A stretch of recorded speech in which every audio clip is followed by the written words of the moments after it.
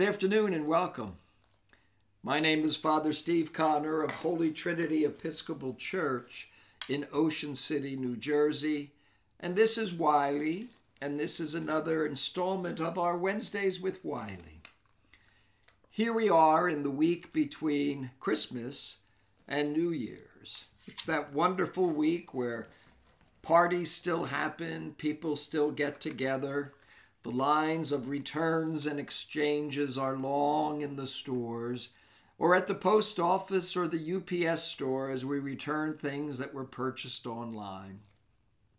It's also the time when we begin to think about the new year, 2023. There's always something exciting about a new year, as if there's new adventures more than likely, new opportunities more than likely, all kinds of wonderful things. And of course, for some of us, it could also be a bit fear making or uh, make us somewhat uh, cautious about the new year.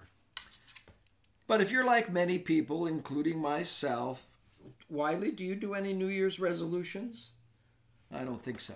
But we begin to think about what we might want to change about ourselves or about our lives in the new year, 2023. And I've made the mistake many times of making New Year's resolutions that are so grandiose, so monumental, there's no way I'm going to be successful. There's no way I'm going to lose the 25 pounds that have followed me since I turned 50. There's no way I'm going to suddenly have the muscles I've always wanted. It's not going to happen. And so last week when we did Wednesdays with Wiley, we talked about being gentle with yourself. And I think in New Year's resolutions, that's the key advice. Be small, set small goals. Instead of saying, I'm going to lose 25 pounds in the first month, perhaps say, I'd like to lose three pounds within January and three pounds within February. And instead of say I'm going to go to the gym, gym six days a week, maybe start off by saying I'm going to go to the gym twice a week. Or I'm going to call my mother more often. Well, make it specific. I'm going to call my mother once a week once a month. I think when we we take what we want to change and do it in different sets of goals, it is very helpful because we want to feel successful. We want to feel like we're actually getting to that goal we established. Now, Wiley here doesn't know it, but we had a New Year's resolution for him. He was getting a little finicky about eating. He didn't want to eat his food. He would sniff it and walk away. He's never been a voracious eater. He's never been one of those dogs that you put the food down and he attacks it. He always kind of gently goes up, smells it, does a little dance, then he might start eating.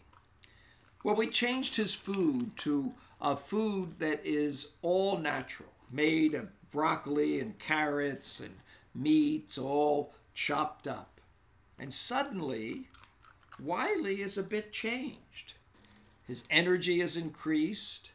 His uh, his appetite is steady now. He eats when we put the bowl down. It was a small change, but it's having bigger repercussions. Some of that puppy energy he had, had, and now is in full bloom, is back. He's running around, he's chasing his toys, Last night he got a new toy for Christmas, an octopus. And that octopus has been by his side since he got it. So be gentle with yourself, especially with your New Year's resolutions. Set your goals and then set increments in between. Because our God doesn't want perfection. Our God knows that to seek perfection is to constantly feel less than. To seek perfection is to constantly feel like you're not reaching that mark. So set those goals small, make them real, make them attainable.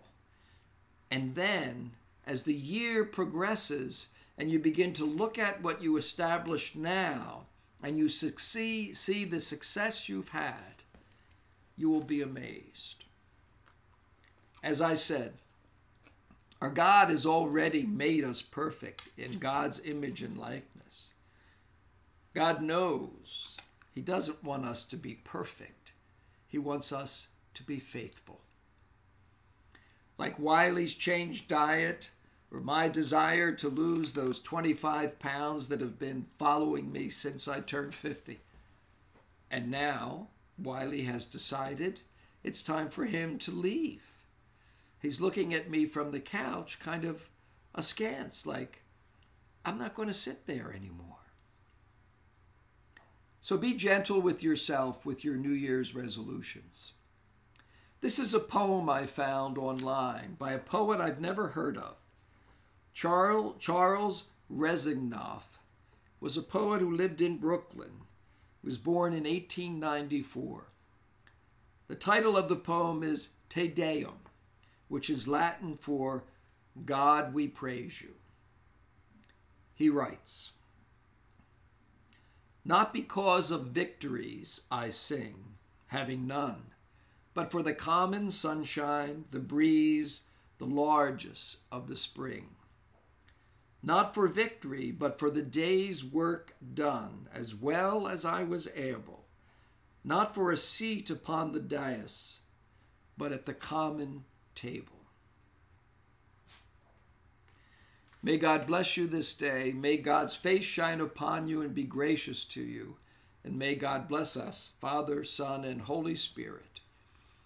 I wish you a joyful and happy new year, full of health and laughter and all the good things that our world and God gives us.